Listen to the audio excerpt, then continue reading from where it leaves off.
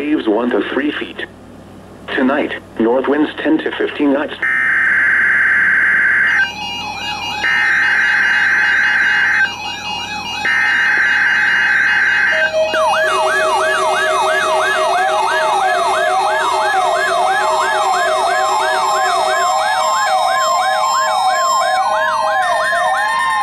This is a weekly test of the NOAA Weather Radio Warning Device. During potentially dangerous weather situations, specially built receivers are automatically activated to warn of the impending hazard. Tests of these receivers normally are conducted by the National Weather Service every Wednesday around noon. When there is a threat of or existing severe weather in the area on Wednesday, the test is postponed until the next good weather day.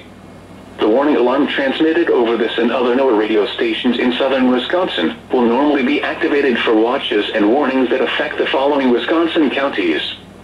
Richland, Vernon, Adams, Juneau, Marquette, Waushara, Winnebago, Calumet, Manitowoc, Sauk, Columbia, Green Lake, Fond du Lac, Sheboygan, Dodge, Washington, Ozaukee, Iowa, Dane, Jefferson, Waukesha, Milwaukee, Lafayette, Green, Rock, Walworth, Racine, and Kenosha.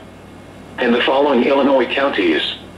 Stephenson, Boone, Winnebago, McHenry, and Lake. And all adjacent coastal waters of Lake Michigan.